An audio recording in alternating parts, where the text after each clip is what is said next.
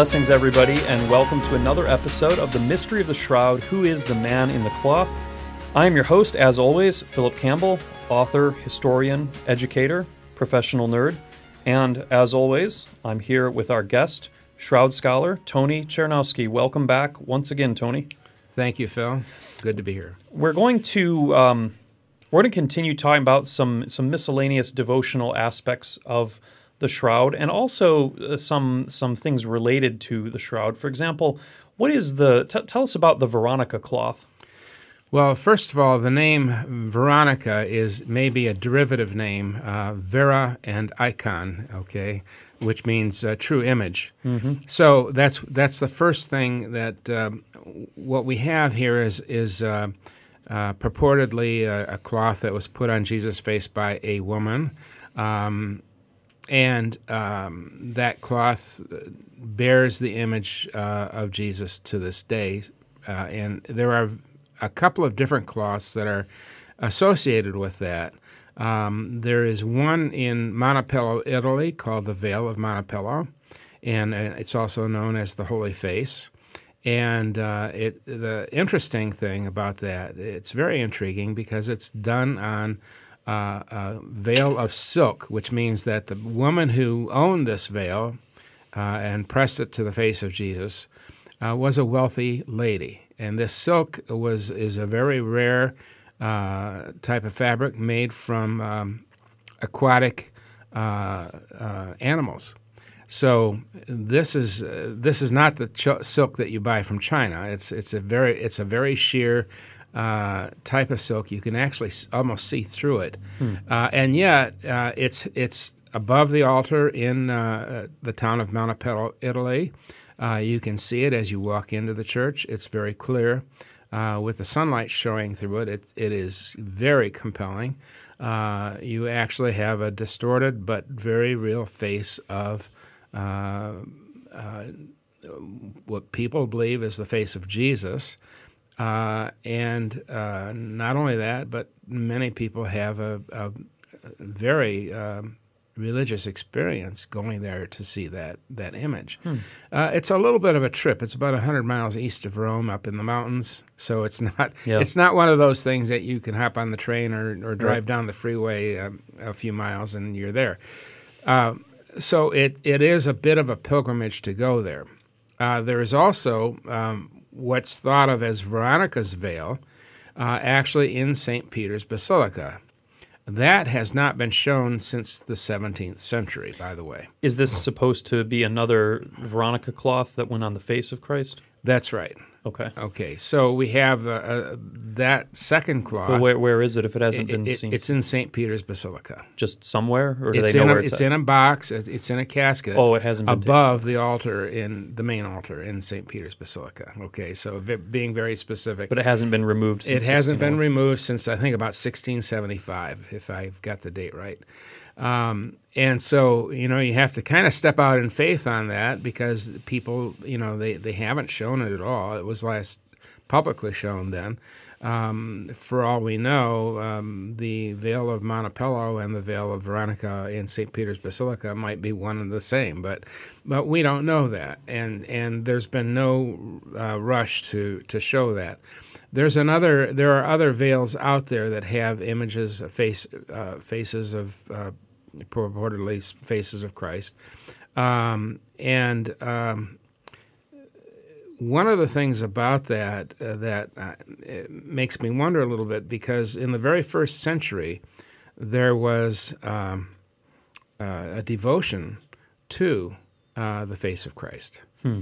And I'm just wondering if those veils that, that had Jesus' picture on them were, were in circulation in the Holy Land at that time uh, it's possible that these images, um, you know, they would not have been uh, things that you would open to the general public. Right. Uh, they would have been very, very private devotions because, um, uh, number one, uh, there's the uh, restriction against graven images and images in general, and um, and number two, um, if it was uh, the face of Christ, of course, uh, in a in a Jewish community, uh, you would probably be stoned. So, you know, there's there's there are those types of restrictions, and yet um, this image of uh, the devotion, or excuse me, the devotion to the image of the, of the face of Christ, uh, has uh, is known to have existed all the way back into the first century.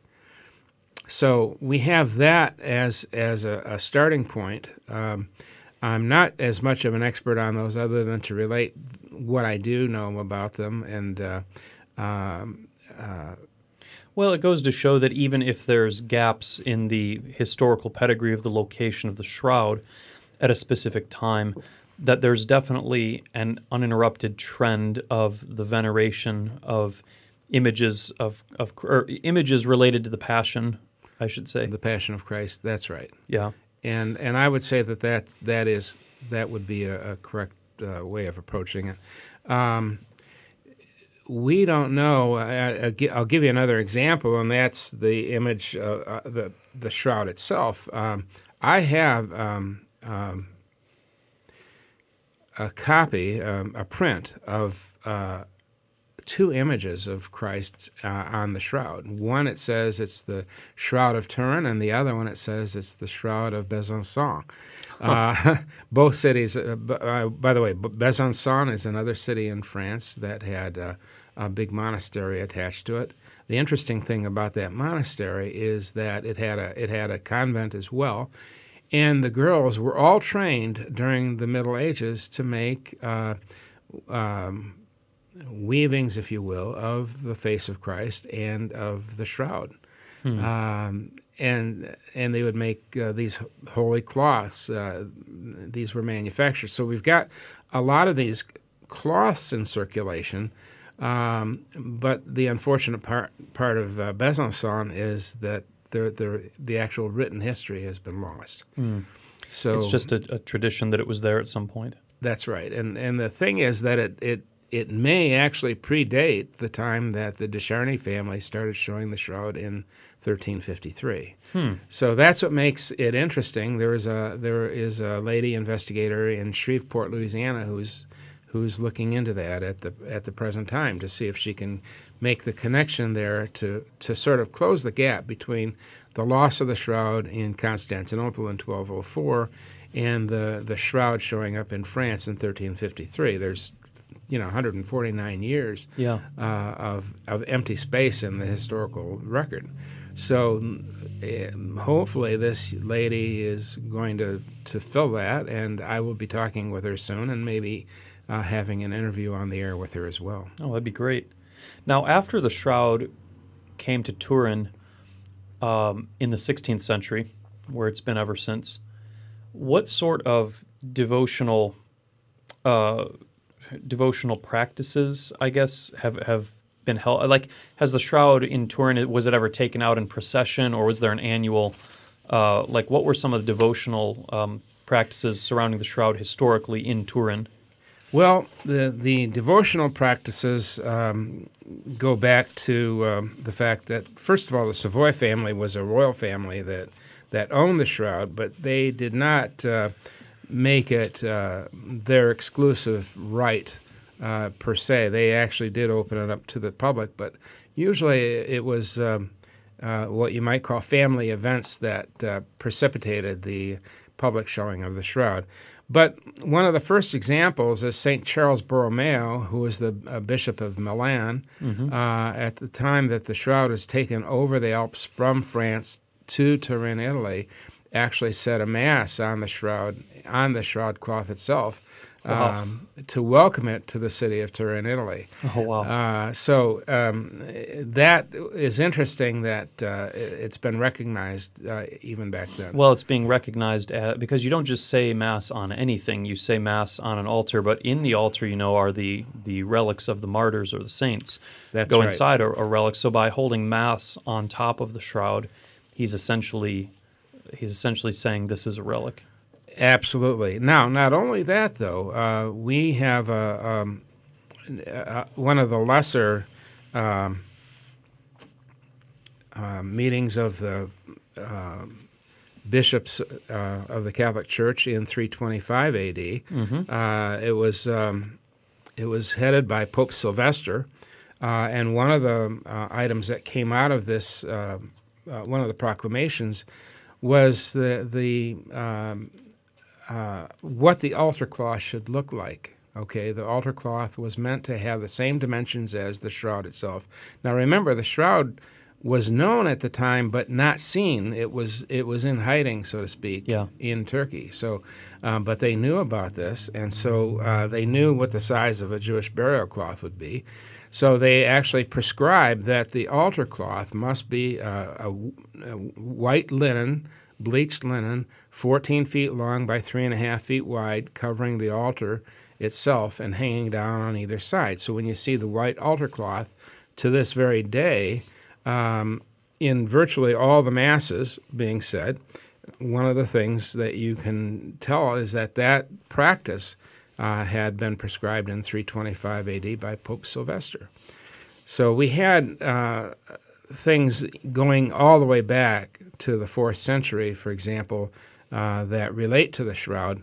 Um, even though they didn't have, uh, you know, it wasn't in their presence at that time. Now, medieval popes uh, knew about the shroud, or at least there's evidence they did going into the 1400s. Did they affirm its authenticity or recommend it as an incentive to contemplation? Are there any early papal statements or actions about the shroud? Well, the earliest action that was taken was when the, the bishop of um, uh, the, one of the dioceses in France wanted to forbid the de Charnys from showing the shroud. Uh, they, the de Charny family had actually built a, a chapel. Uh, it was actually a fairly big church made of wood. It was not a cathedral of any sort. There were no stones. In fact, we don't even know where the chapel uh, exists existed anymore. Um, the point was they were using that, uh, you know, as a, a focal point f- to venerate the shroud. Um, the bishop, the local bishop, um, who had his own relics of the true cross and etc., uh, wanted the the uh, de Charnys banned from showing that. So he actually wrote to the Pope at the time, and um, and the Pope wrote back and said, uh, "Leave him alone." Um, and but what he did say also was he said that the de Charnys family was to not to claim that it was the true burial cloth of Christ, but that it was a, a relic like the burial cloth of Christ. Right, because there was no way to authenticate it in those right. days. That that probably was the way. That would have been a correct way of doing that, uh, of saying something like that. Yes. Now, going into the 1400s, we have an interesting brief comment by Pope Sixtus IV. Okay. Uh, Pope Sixtus IV. Um, one of the things that he said was uh, uh, back in 1389. Um, the the bishop uh, called the shroud a fraud and the work of an artist uh, uh, who had confessed to painting it, uh, although they never did come up with the artist Right. who, who had said that supposed conf- uh, confession. But Pope Sixtus uh, called the shroud a true portrait of Jesus Christ himself. And, and this is the, the very Pope that actually told the bishop to leave the de Charnys family alone. Uh, so And this is specifically in response to somebody claiming it was an artistic forgery. that's correct. The bishop actually made that claim. Yeah. And that we do have a copy of that letter, by the way, in, in, as a, an historical document, but none of the other evidence that was supposed to come with this ac- accompanied that letter. Right. So, um, and uh, Pope Sixtus's reply was simply, uh, "Leave him alone. We, we believe that this is a, a a true portrait of Christ," without actually saying that it was uh, the burial cloth of Christ. Now, in the following century, what many people don't realize, and I didn't know until I started studying this, is that the shroud actually had its own feast day and liturgical commemoration. Can you talk about who did that and when that came about? Yes, um, that came about. Um, uh, the Feast of the Holy Shroud uh, was authorized by Pope Pius. Um, Julius. I'm sorry, excuse me, Pope Julius.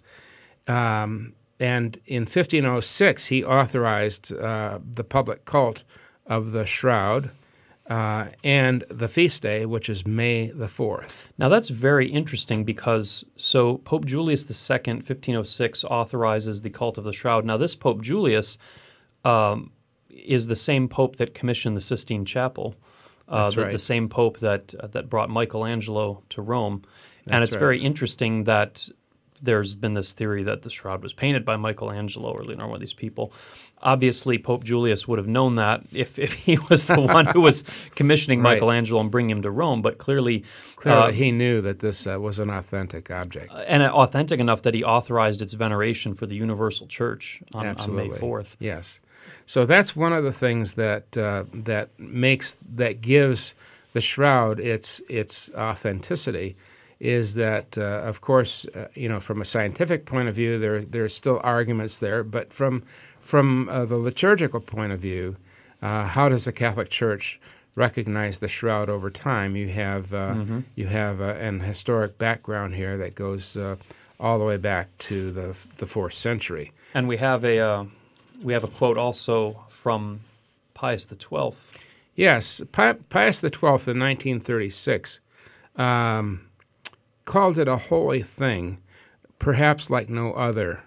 And I'm and and uh, I'm trying to remember the full context of the quote. So Phil, if you could help me out. I don't remember either, but it's it's interesting. It It, says uh, like no other because like no other, because it's yeah. kind of like he's saying there's lots of relics, but this one stands in a class by itself. Exactly, exactly. And um, that's interesting that Pope, Pope Pius XII uh, actually came out and, and again um, gave the shroud uh, a certain amount of veracity and a certain amount of approval. Uh, again, he's not saying that it's the burial cloth of Christ, but what he is saying is that the image on this is there, there's nothing like it, Yeah. and and so he wasn't making a scientific statement. What he was doing is making a statement of faith. Right. Now, going up into more modern times, uh, you on, on your website, theholyshroud.net, you have a whole whole page dedicated to Saint John Paul II and the shroud. You want to talk about the late John Paul II's uh, comments on the shroud? Well, Pope John Paul II actually went much further than a lot of the earlier popes, at least what we've got recorded from the earlier popes. Um, it says here, he, uh, he says, I paused in adoration before the Eucharist, the sacrament which is the focus of, of the Church's attention, and under humble appearance contains the true, real, and substantial presence of Christ. In the light of Christ's presence, presence in our midst, I am I have then stopped before the shroud, the precious linen that held us better to understand the mystery of the love of God's Son for us. Before the shroud, the intense and agonizing image of an unspeakable torment, I wish to thank the Lord for this unique gift which asks for the believer's loving attention and completely complete willingness to follow the Lord. So what he's saying here is that this is meant to be a faith builder. Um, this is uh, something to contemplate, for example, uh, in front of the Eucharist. Uh, what we're looking at, remember what, what I said earlier that the altar cloth is meant to be the replica of the shroud. And, and so here you have a sacrifice that's done on the altar every day, in fact, 24 hours a day around the world Yeah.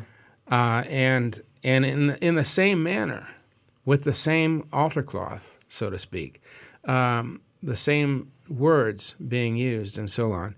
Uh, it's it's humbling to think of that, and to think that Christ dying on the cross was the beginning of all this. And both Benedict XVI and Pope Francis subsequently visited the shroud and made comments about it as well. Yeah. Um, what Benedict um, says is um, he's saying that um, that this is an extraordinary icon. That so he's you know icons are meant uh, to help build our faith, and so he's treating this as a faith builder Yeah. and uh, um, what he's saying here is that um, he wants to share um, the message which the shroud brings, which is the mystery of the Holy Saturday. So, what he's talking about, and, and I think Benedict really kind of zeroes in on something that hasn't been zeroed in by the other popes, and that is the shroud uh, as the picture of the resurrection of Christ. Yes. That's a pretty radical statement if you think about it. Yes. And so that's what uh, that's what I get out of Benedict's uh, statement that he he has made that leap uh, of faith, if you will, um, but with the help of science, being able to say, you know, we cannot replicate this shroud. It, this is not something. This is not a painting. This is not a scorch on the cloth. Uh, we've eliminated all possibilities of how this image got on the cloth, except one, which through the eyes of faith is the resurrection of Jesus Christ. Right. And what about the the most recent visit of Pope Francis in 2015?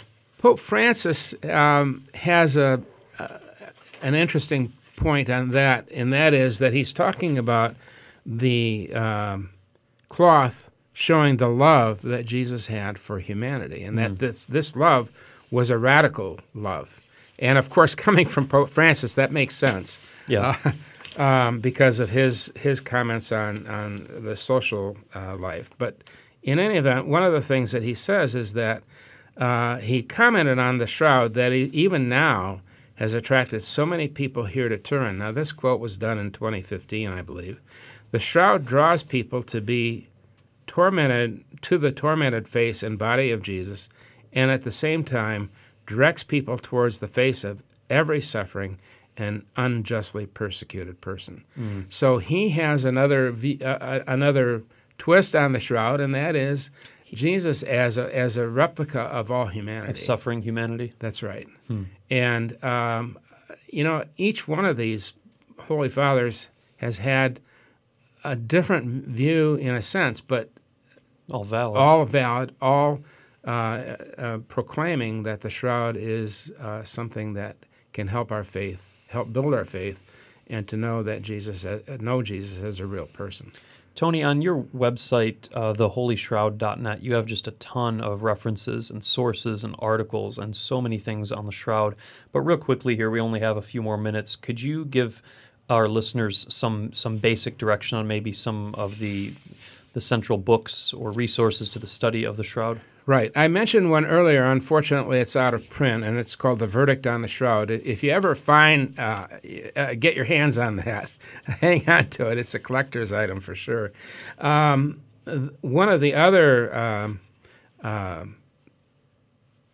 books that that I found shortly after that is that it was called "The Doctor at Calvary," um, by a, a French gentleman by the name of Pierre Barbet and uh, there is an English version of that uh, as well. And uh, you can still find those books. They're out of print, but still available um, through the used uh, booksellers. And the, the uh, verdict on the shroud, I just looked it up on Amazon. Uh, it's going, it's going for about seventy dollars. Okay. For one of these out of print copies. So, yeah. Uh, that's probably cheap. but yeah. anyway, that's uh, I wonder if how what condition that's in. But anyway, the the thing is, yes, there there are not very many copies uh, available, and so it, it is a bit of a collector's item. Um, but uh, Pierre Barbet's book goes into the the uh, physical evidence. Uh, he studies in great depth uh, the the art of the Roman crucifixion. Um, he actually used cadavers hmm. to test how a cadaver would be hung from the cross. Yeah. How how Christ would be hung from the cross to be able to be uh, stay there. Um, Pierre was a, a, a World War One uh, military um, uh, doctor, and so he saw a lot of deaths and injuries on the battlefield and he was able to take that knowledge and apply that to his investigation of the cross itself. Sure. Um, finally, um, one of the more recent books is The Light from the Sepulchre by Emanuela Marinelli, and she um, brings us fairly up to date on what's going on uh, with the investigation on the on the shroud itself. So she has uh, quite a compilation of uh, all the different uh, types of studies that have been done. Great. And again, for, for many more resources and articles on the Shroud, I would direct our listeners to Tony's website, which is www.theholyshroud.net. I was just browsing it before our broadcast today, and Oh my gosh, there's a lot of information on there. Uh, all his his 25 years of research at your disposal on theholyshroud.net. Well, thank you, Tony. That's about it for today uh, for another very fascinating discussion about the shroud. I'm Phillip Campbell, and uh, join us again another time for further discussions of the mystery of the shroud. Who is the man in the cloth?